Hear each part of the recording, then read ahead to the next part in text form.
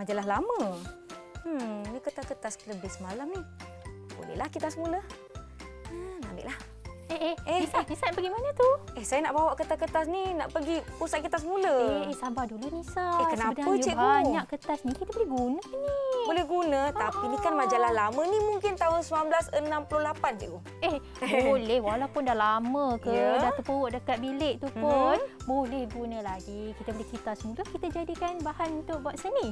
Oh, satu lagi aktiviti seni cikgu. Satu lagi aktiviti untuk Satu hari lagi ini. aktiviti seni pada hari ini. Hai semua, Assalamualaikum. Anda sedang menonton Kelab Craft Didik KKD bersama saya Nisa K. Sebuah program kurikulum di mana kita menampilkan aktiviti-aktiviti seni dan juga craft. Jadi adik-adik apa agaknya aktiviti kita pada hari ini? Sebelum tu Nisa nak ingatkan pada anda semua agar kekal menjaga SOP di mana saja adik-adik berada. Pelitup muka jangan dilupa. Penjarakan fizikal dijaga.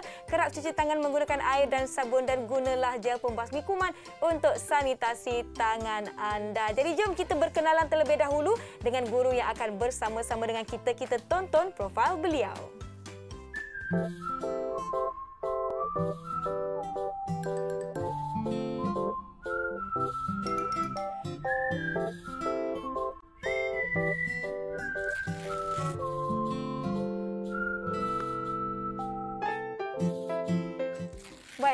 rakan-rakan sekali lagi bersama-sama dengan kita di KKD Kelab Kerap Didik adalah Cikgu Teh Nadira dari Sekolah Seni Malaysia Kuala Lumpur. Apa khabar Cikgu? Baik Nisa, apa khabar? Alhamdulillah saya baik walaupun saya gerun sikit tadi. Cikgu cakap jangan buang dulu. Ah. Ah. saya dah cakap alamak ah, saya buat salah ke? Rupa-rupanya ah, kertas-kertas di hadapan kita ni masih boleh digunakan untuk hasil seni kita. Seperti biasalah Cikgu ya. Mhm. Sebelum kita mulakan aktiviti, kita sanitasi dahulu tangan. Saya sembuh-sembuh. Okey, baiklah. Ah, baik. Ah, di kanan, di Okey. kiri. Baik. Ah, saya juga. Baiklah. Adik-adik di rumah. rata pada semua Baik. tangan. Ha, sekarang barulah saya dah bersedia nak tanya Cikgu Nadira, Cikgu Tin Nadira apa Ya. yang kita nak pelajari atau apa yang kita nak hasilkan bersama-sama pada hari ini.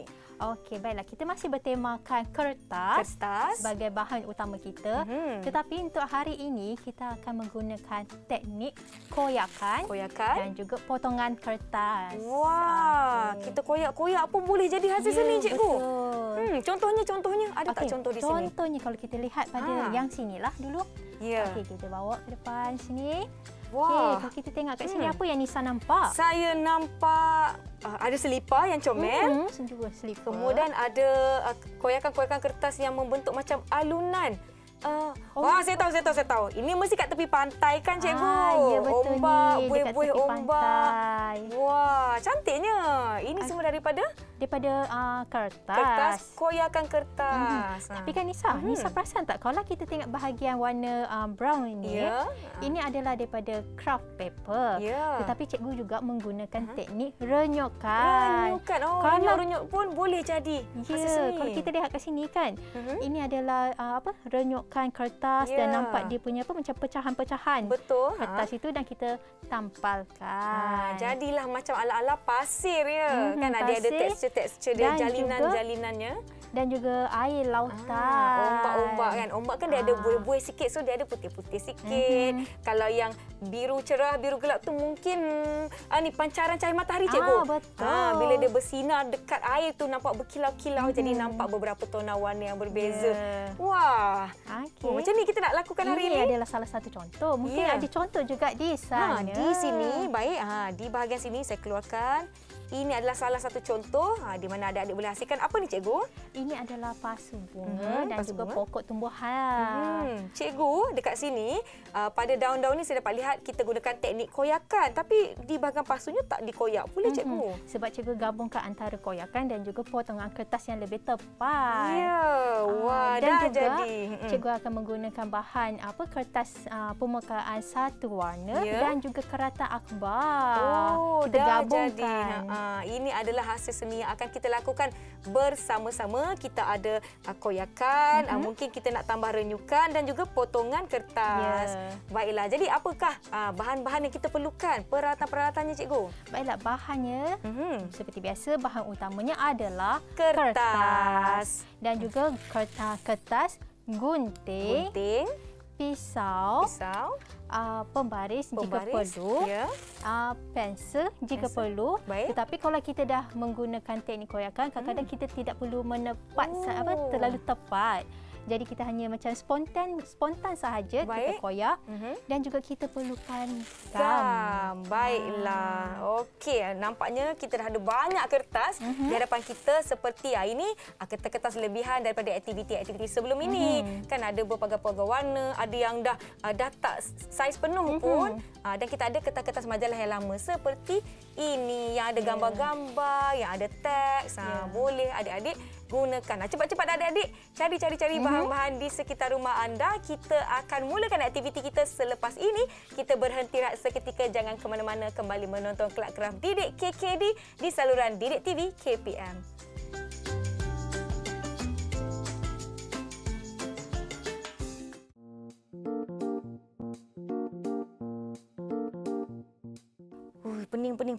Fikir, fikir, fikir, fikir. Ha, cikgu. Ha, ha, saya dapat idea. Okey. Saya dah visualkan idea saya. Eh, kita dah kembali ke Kelab Keram Didik KKD bersama saya Nisa K dan Cikgu Teh Nadira. Sekarang ni kita nak mulakan. Apakah langkah pertama Cikgu? Maaflah tadi saya duk fikir-fikir-fikir idea. Macam mana saya nak hasilkan Ah. karya seni ni? Ha, Sekarang saya nak tanya Cikgu, apakah langkah-langkah kita? Silakan Okey, Cikgu. Langkah pertamanya Mhm. kita perlukan satu apa kertas latar belakang dia Baik. supaya kita akan tampalkan uh, kertas, uh, keratan kertas kita. Ya, di Tetap- atas ini. Okey, tetapi sebelum itu Mhm. kita perlu tahu apa Ya. yang kita nak buat sebenarnya. Hmm.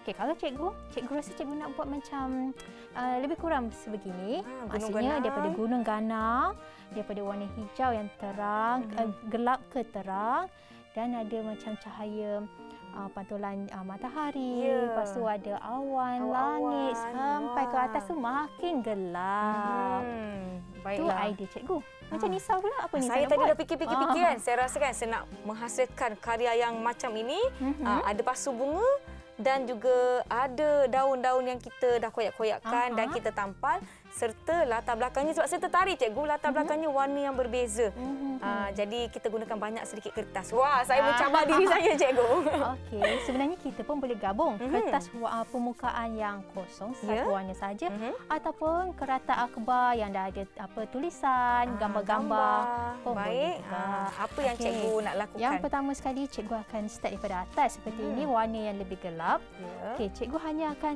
uh, apa uh, menggunakan teknik koyakan. Ah, koyak saja ya cikgu. Okey.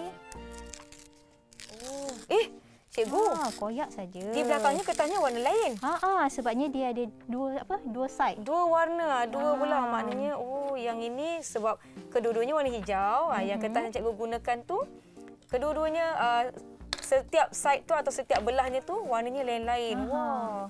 Tetapi Macam kita jangan tampal dulu, Hmm. jangan gam lagi Mhm. supaya kita dapat susun atau uh, kedudukan kertas Baik. itu. Okey, kalau kita lihat sini yang cikgu punya awan, awan tu dia lebih berbentuk macam rata sedikit Ya, lah. ha-ha. Tetapi berbeza dengan gunung ganang nanti ni. Ya, betul. Okey. Jadi cikgu akan settlekan di bahagian atas, Mhm. barulah sampai ke bawah. Okey, saya nak buat bentuk daun agak-agak je lah ya tanpa menggunakan uh, sebarang bantuan daripada pensel untuk Hmm. lakaran uh, ataupun pembaris. Ha, saya agak-agak je ni. Oh, boleh ni, dah, dah nampak dah bentuk daun. Ha, saya dah dapat bentuk daun. Ha, okey tak cikgu? Okey, boleh. Cuma boleh. nanti daun ni ada bezanya adalah saiz. Ada Saiz. yang besar, ada Ah. yang kecil. Baik, okey. Kita akan koyak lagi sekali adik-adik. Ha. Koyakkan ikut bentuk. Ha, jadi imajinasi agak penting di sini cikgu ya. Ya betul. Ha, sebab- Lagi satu juga Ya. sebenarnya kita menggunakan kemahiran berfikir. Ya. Kenapa uh, cikgu cakap kita menggunakan kemahiran berfikir? Mhm. Sebabnya kadang-kadang kita perlu menampalkan tampalan kertas ni ada di bahagian depan. Ya. Ada juga yang memerlukan di bahagian belakang. Di bahagian belakang. Jadi kita juga menggunakan apa fikiran kita dengan lebih uh, kreatif dan kreatif. kritis. Ya. Baik. Okey. Oh macam ni. Ah, saya dah potong ada yang besar dan kecil mm-hmm. dan Mhm. saya akan teruskan bukan potong maaf koyak sebab Mhm. kita kena uh, tengah guna teknik koyakan Mhm. saya akan uh, teruskan mengoyak untuk kertas-kertas warna lain dan saya akan susun Ya. nak nampak uh, apa jalinan uh, warna yang cantik itu jom saya akan gunakan kertas yang lain pula kita lihat hmm ada daun besar, ada daun kecil. Mungkin kertas yang kecil-kecil ni jangan dibuang dahulu cikgu kan? Ya betul. Kadang-kadang ha. kita boleh tampal di bahagian atas semula. Ya, betul. Baik. Okey, saya dah dapat dah. Sebab saya nak cuba buat uh, yang belakang ni cikgu. Nanti cikgu bahagian kena tunjuk kat saya. Ha, ah, latar belakangnya. Cikgu kena tunjuk kat saya. Nanti lain pula jadi latar belakang saya. Sebab saya nak ikut contoh seperti apa yang telah kita ada di sini. Daun sikit. Mungkin cikgu nak tanya, dekat hmm. rumah Nisa ada tanam ke pokok-pokok ke? Ah, ada cikgu, tapi ada. tak banyaklah. Maklumlah ah. bila duduk di rumah yang tidak ada uh, laman belakang, kan, rumah-rumah macam bertingkat kan. Ha. Uh-huh. Dia tak banyak, tapi bila ada hasil-hasil kerang macam ni, teringatlah juga kepada keindahan alam semua jadi uh-huh. yang ada di hadapan ataupun di luar sana. Yang satu hari nanti kita akan dapat lawati juga. Okey, saya rasa saya dah ada beberapa tambah sikit lagi lah sikit lagi sebelum saya mulakan dengan tampalan saya. Sebenarnya kan hmm. Nisa, contoh-contoh yang cikgu dah buat itu sebenarnya hmm. diinspirasi daripada uh, pokok daripada, daripada rumah cikgu. Ya. Oh. Kadang-kadang inspirasi ni kita boleh dapat di sekeliling kita. Betul. Kita kena apa teroka ataupun hmm. explore dengan lebih lagi. Betul tu. Baiklah kek ini adalah lebihan kertas yang akan saya gunakan kemudian. Mana tu saya nak tambah-tambah lagi ke? Okay, saya pergi kepada majalah seni. Macam mana cikgu saya nak dapatkan yang bawah ni? Saya nak kena potong bahagian Ha, bahagian mana ni cikgu? Okey, untuk bahagian belakang mungkin hmm. uh, Nisa nak bahagian sini. Ya. Dan mungkin kita hanya boleh potong saja, potong satu straight line ah. sahaja. Oh, yang satu garis saja di sini. Uh-huh. Baik. Dan kita akan tampalkan di sana lah. Okey. Ha. Baik cikgu. Saya menurut perintah, ha, mungkin saya perlukan pen dan juga pembaris untuk memastikan saya potong dengan uh, garis lurus uh-huh. pada keratan majalah ini. Kalau keratan majalah tu besar, boleh gunakan sebesar mana ha, apa kawasan kertas yang anda nak. Okay. Tadi cikgu ada sebutkan uh, kalau kita tampal melebihi ruang kertas latar belakang kita tu tak kisah cikgu kan? Ah ya betul. Sebab nanti kita akan ada kemasan karya pada penghujungnya. Baik, kemasan karya. Baiklah, saya dah ada daun-daun saya. Kemudian saya akan tampalkan gambarnya di bawah. Saya letak di bawah macam ni cikgu ya. Ya. Okay, boleh. Saya tampal saja di sini cikgu. Ah, tampal saja. Kita akan tampalkan dengan di bahagian belakang dulu. Maksudnya Baik. tampalannya dia bermula daripada hmm. belakang, belakang barulah ke depan. Barulah ke depan. Nah, jadi contohlah kertas putih ni misalkan tampalkan uh, bahagian yang ada gambar ni hmm. di bawah macam ni. Sebab hmm. saya cuba saya nak cuba tambahkan warna-warna lain di atas. Hmm. hmm. Saya cubalah gabungkan warna-warna warna yang ada. Yang, warna apa yang Nisa nak letak? Hmm, memandangkan ada warna biru uh-huh. pada gambar ini, saya nak cuba gabungkan. Ah, warna-warna ah, biru. Okey tak cikgu? Boleh, boleh. Dia ah. ibarat macam ada dua dinding yeah. di ya. situ. Ah, baiklah, jadi jom saya pun nak tampal. Okey. Kertas saya ni. Sini saya dah boleh tampal dah yang di bahagian belakang. Ah. baik, baik. Boleh cikgu. Saya cikgu mulakan dengan masih saya. susun lagi. Baik. Okey, sementara cikgu nak susun-susun uh, susun atur uh, awan cikgu dan yeah. saya nak siapkan potongan kertas latar belakang serta saya nak potong pasu.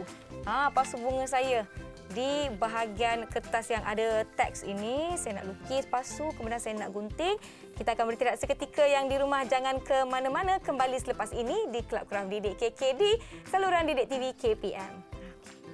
Jom, jom. Cantik dah.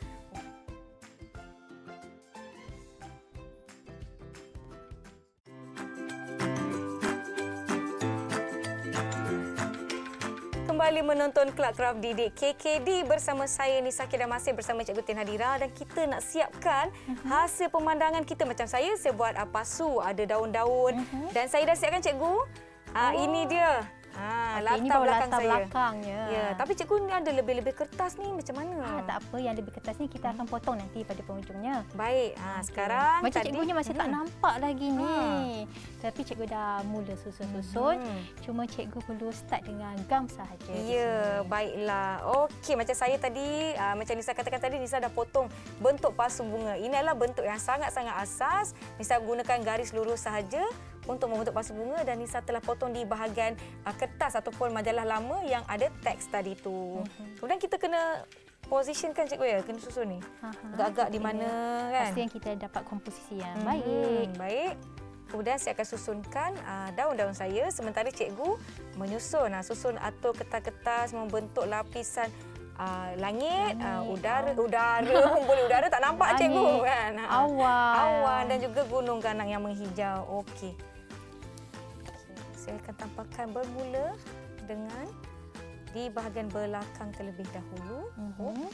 Uh, mudah saja adik-adik. Gamkan yang penting uh, posisi atau kedudukan uh-huh. lapisan-lapisan kertas itu kemas dan teratur. Supaya boleh nampaklah apa yang sebenarnya kita nak lakukan. Okay, mungkin sengit sikit di sini agak-agak. Okay. Supaya nampak dia punya daun tu yeah. tidak menegak saja. Hmm, betul. Sikit. Oh, saya pula berdebar cikgu. Takut lain pula yang saya rancang lain pula yang jadinya. Tak apa. Kadang-kadang kita dalam proses penghasilan karya ni ya. kita belajar banyak benda. Betul. Ha, ha, tak semestinya apa yang kita rancang tu ha, sebiji-sebiji dapat macam tu. Mungkin oh, ada perubahan dan juga ada improvisasi. Ya. Kadang-kadang kita tak terfikir pun benda tu pun boleh jadi menarik. Betul. Okay, saya akan tambahkan tona warni yang berlainan pula. Saya gunakan kertas hijau yang uh, sedikit cerah warnanya. Okey, dan saya akan tampakkan hmm, di sini. Agak sikit tinggi sikit. Okey, cikgu rasa setakat ini saja yang hmm. cikgu punya bahagian uh, apa awan, langit yeah. dan cikgu akan teruskan di bahagian gunung ganang je pula. Okey.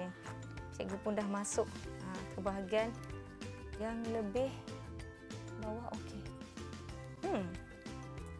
Hmm. Mungkin cikgu nak tanya dekat Nisa. Ya, saya. Ha. Tanyalah cikgu berdebar pula saya.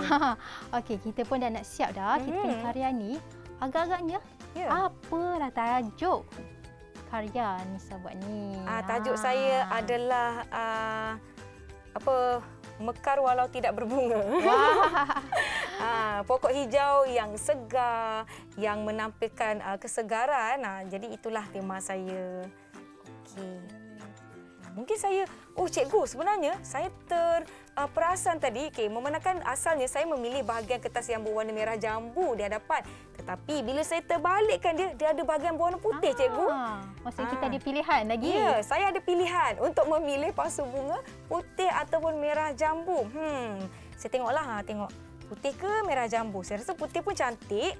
Dia agak menyerlah pada, saya tunjuklah pada rakan-rakan ah. saya. Okey, ini kertas yang saya gunakan tadi dari majalah. Uh, dia ada latar belakang warnanya merah jambu. So dari bahagian teks tu itu yang saya dapatkan untuk buat ni cikgu pasu. Mm-hmm. Okay, macam ni. Kalau saya gunakan warna putih, saya terbalikkan dia. Ah, dia lebih macam uh, menyelah, ha, menonjol. Cikgu rasa dia lebih menyelah kan? Ya. Yeah. Ha, saya pun rasa setuju begitulah saya nak guna yang warna putih. Mm-hmm. Ha, nampak tak adik-adik? Ha. Ha, dalam pada kita menghasilkan aktiviti seni, ha, timbul idea yang baharu. Yeah. Timbul idea yang kita rasa, oh kita boleh buat guna cara yang lain sedikit. Jadi ha, saya nak gunakan uh, warna putih. Ha, pasu saya Ya betul. Kadang-kadang apa yang kita rancang hmm. tu tidak, tidaklah semua tu menjadi. Betul. Okay, saya mungkin akan potong sedikit uh, pasu saya supaya saiznya lebih comel macam tu. Saya suka pasu-pasu yang comel-comel, yang rendah-rendah. Untuk menghasilkan pasu ni cikgu, ya. cuma guna teknik guntingan saja ya? Ya, betul tu. Hmm. Melainkan kalau perlukan macam potongan yang lebih zigzag, yeah. itu pun boleh juga tak ada masalah. Cikgu, cikgu ada sebut tentang potongan zigzag. Uh-huh. Ha, saya jumpa ni tadi. Oh, ha. Apa tu? Apa tu? Okey, gunting ini adik-adik. Ha, seperti adik-adik lihat, dia ada mata yang bergerigi. Ha, gunting ah. ini boleh menghasilkan uh, corak pada kertas yang kita gunting tu. Contohnya lah ya. Mungkin boleh tunjuk? Saya tunjukkan. Okay. Ha, saya guntingkan. Wah, dia ada Bentuklah cikgu. Okey, kalau macam ni kan, cikgu hmm. rasa kan dia sesuai juga untuk daun ataupun pokok kaktus. Ya. Yeah. Ha, kalau kita tahu kan, hmm. pokok kaktus kan dia lebih bergigi. Hmm, betul lah, dia ada gigi di sini adik-adik. Ah, macam tu. Nampak tak? Ah, mungkin boleh dapatkan peralatan-peralatan ini secara atas talian. Oh, pokok kaktus cikgu, saya tahu. Yeah. Ha, kita mesti nak kena tunjuk contoh dekat kawan-kawan kita. Contohnya begini adik-adik. Ha, ini adalah hasil contoh Uh, ini teknik apa cikgu yang ada pada gambar ini? Uh, kalau lihat pada yang Nisa pegang tu, cikgu mm-hmm. uh, menggunakan potongan kertas yang potongan lebih tepat kertas. dengan menggunakan uh, gunting. Yeah. Tetapi di bahagian bunga-bunga warna merah dan warna merah jambu itu, yeah. cikgu menggunakan gunting zigzag tadi. Baiklah, ha, ada dapat lihat.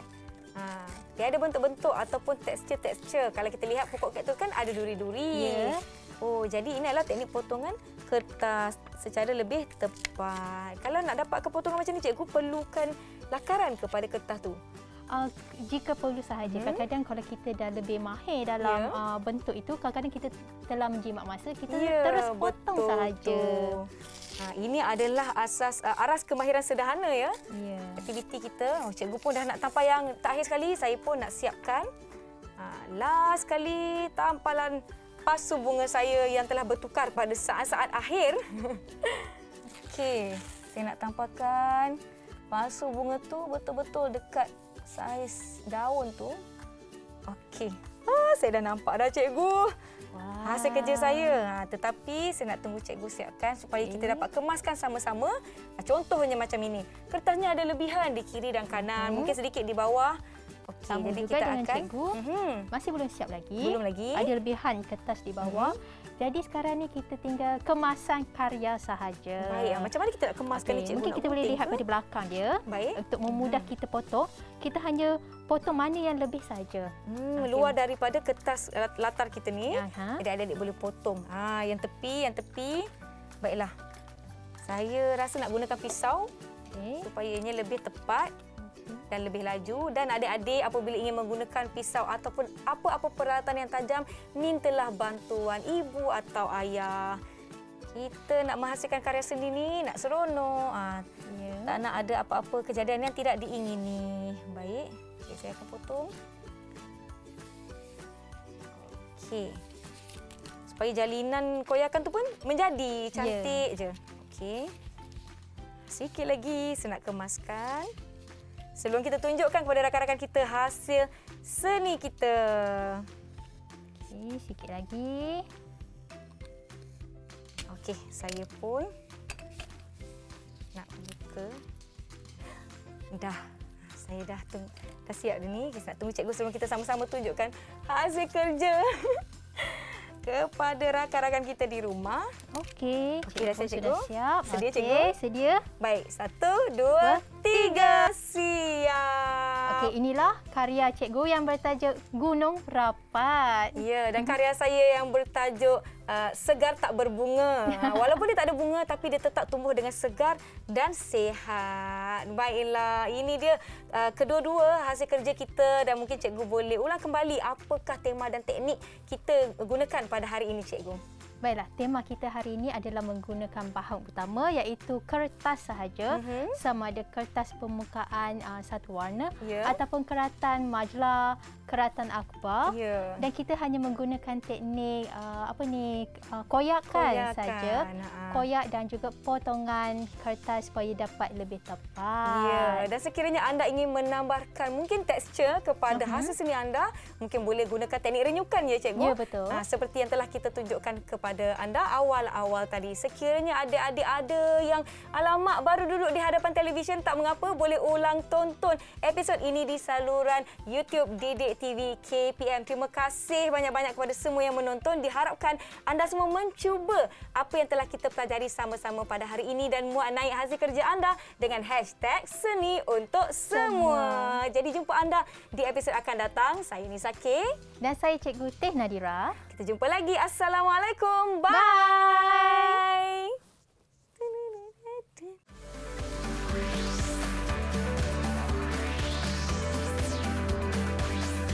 Bidik TV KPM